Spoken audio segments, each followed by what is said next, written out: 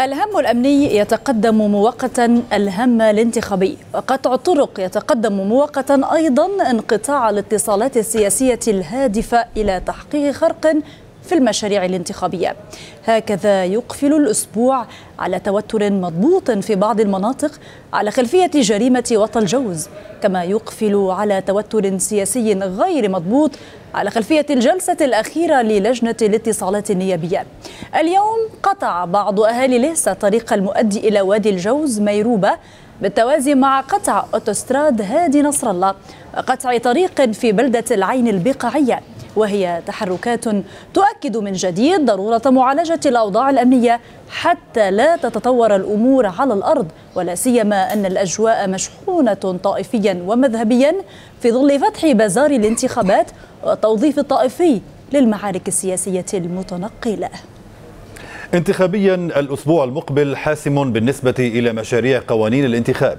ففي الشكل ستختم اللجنة الفرعية أعمالها ويبدأ عمل اللجان المشتركة التي ستدعى إلى الاجتماع الأسبوع المقبل أو الأسبوع الذي يليه.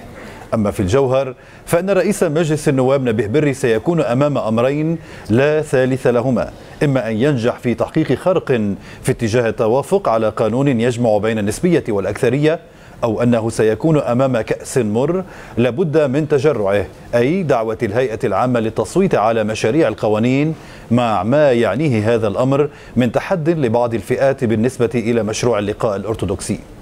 في سوريا المؤيدون للنظام تجمعوا في المساجد للصلاة من أجل عودة الأمن فيما نزل المعارضون إلى الشوارع احتجاجا على عمليات القتل التي تحصل. أما في مصر فالذكرى الثانية للثورة ظهرت ثورة مضادة إذ نزل معارضو الرئيس محمد مرسي والإخوان المسلمين إلى الشارع ما أدى إلى اشتباكات سقط فيها أكثر من مئة وعشرة جرحى. الذكرى الثانية للثورة المصرية في هذا التقرير لمراسلنا هشام مهران.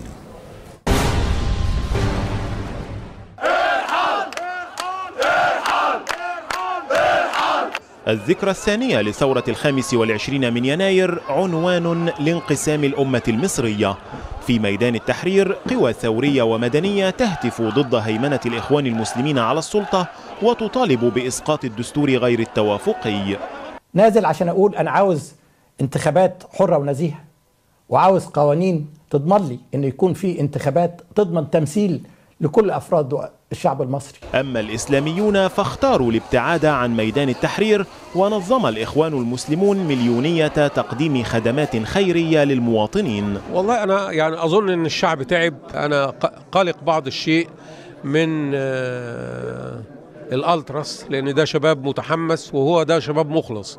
لكن المعارضة أو النخب المعارضة بمعنى أصح يعني لها أجندات. أما الشباب ده فكل أجندته الرئيسية إن هو عايز العدالة تقر. وبينما يحاول متظاهرون إزالة الحواجز الإسمنتية المؤدية إلى وزارة الداخلية كرر الرئيس المصري تعهداته بالقصاص لشهداء الثورة معددا إنجازات حكمه.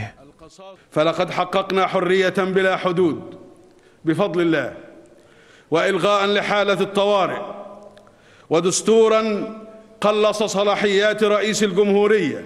وفيما يحاول متظاهرون اقتحام مبان حكومية بالإسكندرية طالت الحرائق عدة مقرات تابعة للإخوان بالقاهرة والإسماعيلية. كيف يبدو مشهد مصر بعد الثورة في عيون المصريين في لبنان؟ فيما تحتفل مصر بالذكرى الثانية لنجاح ثورة 25 كانون الثاني وسط استمرار القلق على مستقبل البلاد جراء الأزمة السياسية الحادة التي خلقها الإعلان الدستوري للرئيس محمد مرسي وما رافقها من تحركات مستمرة في الشارع. لم يكن المصريون في لبنان بعيدين عن هذه الأجواء الانقسامية التي تسود الشارع المصري. إن شاء الله الذكرى الثانية هتبقى احتفال مش هتبقى أكتر من كده. وأنا شايف فعلا إن الثورة بتحقق أهدافها بدليل إن إحنا بدأنا ناخد خطوات جادة في الاقتصاد وناخد خطوات جادة في العلاقات الخارجية مع الدول المحيطة بينا. وأنا شايف إن إن شاء الله ثورتنا هتحقق أهدافها. والله أنا موجود في لبنان ده نتاج للنظام السابق يعني. مش أنا لوحدي يعني مش في أنت لو رحت في أي بلد سواء لبنان أو غير لبنان هتلاقي مصريين.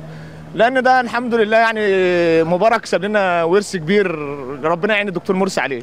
ما حققتش أهداف كلها يعني. زي ما الرئيس محمد مرسي حدد 100 يوم هيغير البلد. أنا في رأيي ما غير شيء بالعكس البلد في يوم أسوأ من اليوم اللي قبله.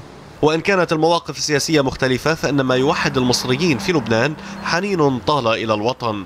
أنا مغترب نسبة ال- يعني ما في شيء ما في شيء أصلا بدي أقوله لأنه هون هون العالم هي اللي مغربانا لهون هي اللي خلتنا سبت بلدنا وإجينا لهون. أكيد إحنا لازم نعود بس مش هنقضي طول عمرنا هون طبعا أكيد بدنا نعود بس يا إحنا بتمنى عن نفسي بتمنى إن أنا أرجع ألاقي بلد أحسن من هون. بتمنى. بس أنا اللي أنا شايفه دلوقتي بلد في كل يوم في النازل مثل مثل زي أي بلد تانية مثل سوريا مثل هون. أنا لو حققت أهدافي ما كنت اتغربت ولا كنت فكرت في الغربة من أساسه. أنا لو مرتاح ببلدي عمري ما أفكر في غربة.